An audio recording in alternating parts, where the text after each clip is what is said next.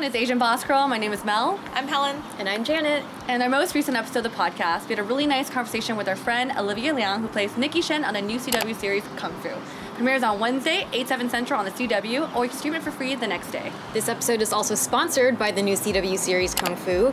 We were quite inspired by our conversation with Olivia about her new role as an awesome ass kicking Asian American female. Yes. And given recent events, we also thought it would be a good idea for us to learn some self defense moves mm-hmm. and also give martial arts a try. Yes, so we call up our good friend, whom you might recognize from his acting work in Ender's Game, Tropic Thunder, An Incredible Crew, and also Wong Fu Productions movie and shorts, including Asian Bachelor 2 and Everything Before Us. He's also garnered a large following on TikTok. Please welcome Brandon Soo Hoo! Yay! Up, Brandon? What's up, guys?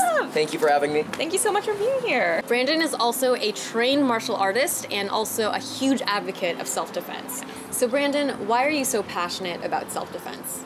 I think in general, self defense is just a really important life skill to have. So, no matter where you are, any circumstance, you can feel safe and secure because that's just our human right. Is like you should always feel safe and able to protect yourself. Mm. Um, it's because also, not all the time the police will be there to help you right when you need it, and you won't always have someone to help you, like someone in the public to help you. So, I think it's really important to be able to depend on yourself and just feel secure in your own abilities and training.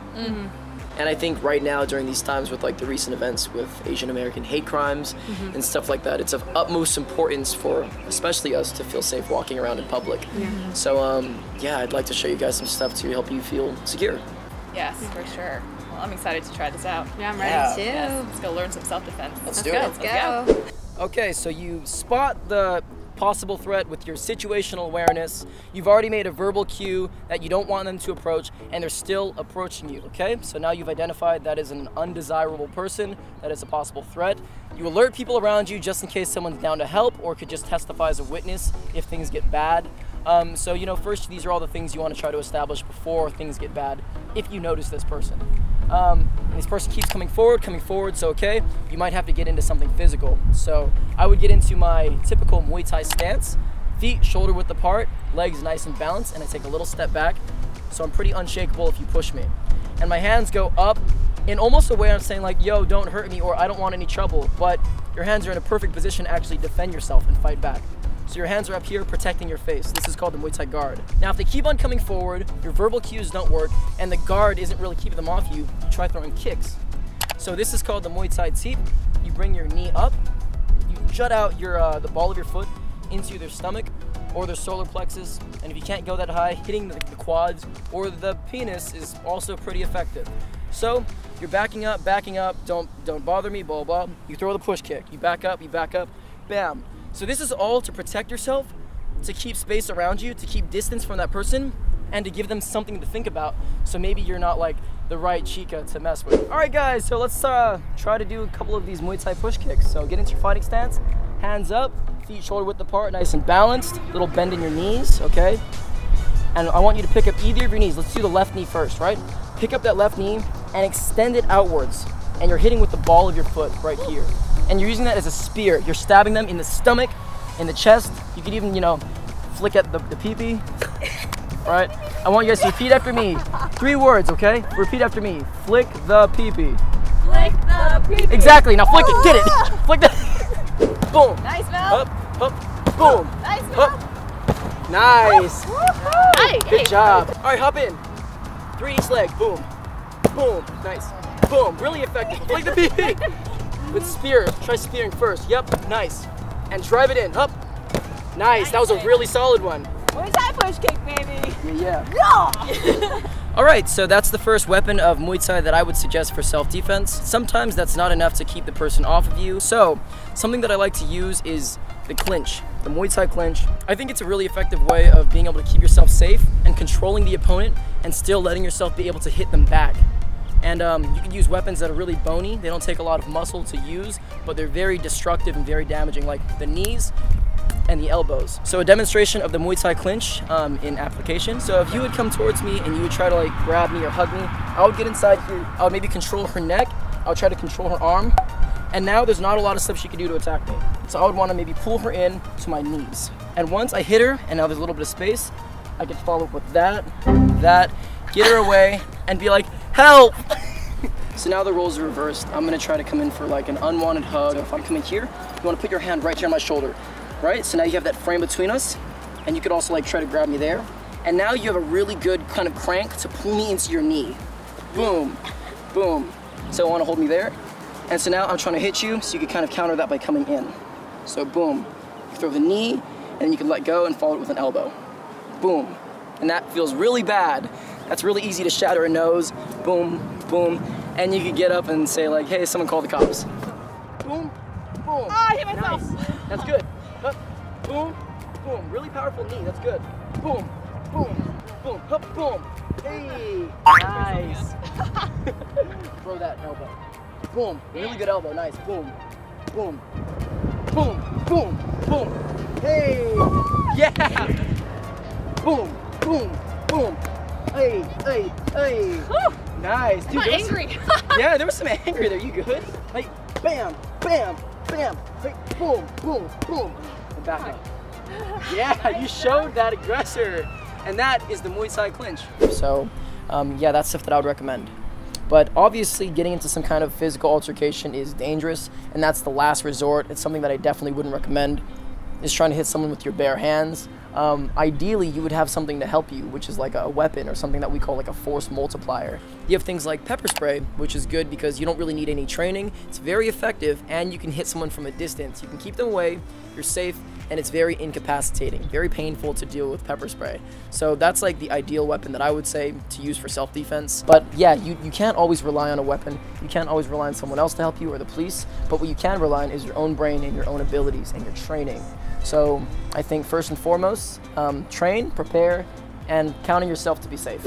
Okay, first, prior disclosure, I'm not a Kung Fu specialist, so this is the amount of Kung Fu that I know, and I can still show you a couple of cool things, but uh, I'm not like a Kung Fu expert by any means, but um, yeah, here's a couple things that I do know. So first, I could show you the pinwheel arm, which is a pretty standard move in Kung Fu, but we're gonna do a pinwheel into a drop stance. Okay, so first to start off with, you want your feet pretty wide, maybe like not super wide, but or like a little more than a shoulder width apart. And you want your arms to be straight because straight looks nice and pretty. So our arms are gonna be moving in this plane, not in this plane. So try to keep them along in this direction if possible. So you wanna keep them straight. I'm gonna start off by turning to the right and bring my left arm in a circle and my right arm in a circle, bring it over here. And on the other direction, bring my right arm in a circle, left arm, and bring it down. Now we're gonna incorporate the drop into it. So my feet are shoulder width apart, taking a deep front stance this way, and I'm dropping this hand that way. And I'm brushing against this knee to maintain myself on this plane. I'm establishing that, just kind of lightly brushing that knee. Boom. Bringing it over, bring my left hand over, and that's gonna come down. So full speed. And that's the uh, windmill into a drop stance.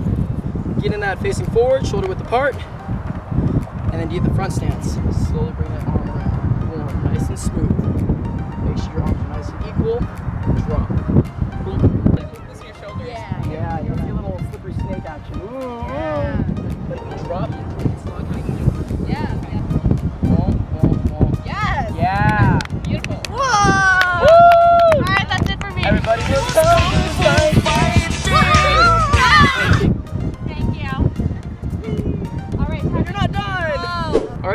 move that I want to show you guys is the butterfly kick.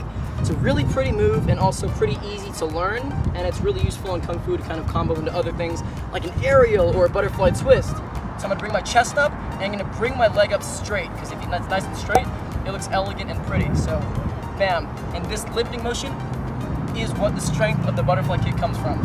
Five, six, leg big Nice. Seven, eight. All right, so the next step to this exercise, after we learn this driving straight leg motion like so, we're gonna face away from the bench and we're gonna put our hands on it like here and lift. And we're gonna let our left leg come up behind it. So it's gonna follow. We're gonna let the force of this kick carry this leg too. So, so both legs come up. All right, so in one motion.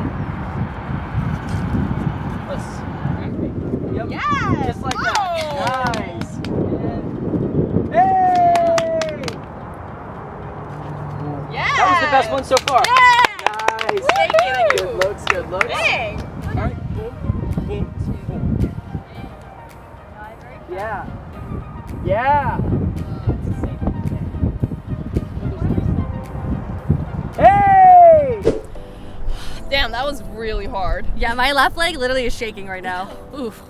Let's watch the pro do it now. Let's go. Let's go, Brandon.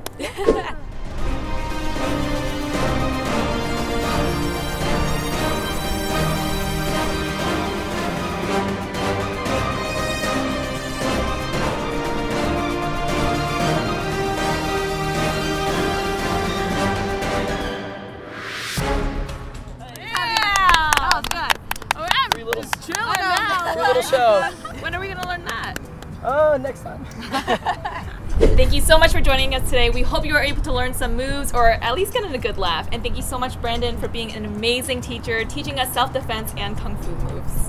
Thank you, Brandon. Thank you you, guys. Thanks for having me. You guys were all excellent students. An excellent teacher. Yep. Make sure to tune in to new CW series Kung Fu. It premieres on a Wednesday, 8, 7 Central on the CW. Catch it for free streaming the next day. And if you haven't already, check out our newest episode that just came out on Thursday, where we talked with Olivia about this role and her working that Hollywood grind as an Asian female actress. We'll catch you all in the next video. Bye. Uh, what do you want? What up, baby? Hey, hey, What stay, up, baby? stay away, stay over there. Uh-huh. Hey guys, I don't like this shit. Uh, I don't. She's doing some weird things. I don't like this. Yo, I'm stay away. I said, you. stay away. Oh, my God. There's a little uh, bounce back on this thing. Yeah. No, I don't like this. I don't like this. Yeah, yeah. Yeah. I'm ticklish.